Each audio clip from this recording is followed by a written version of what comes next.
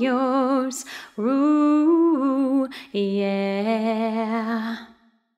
One happy birthday dot com.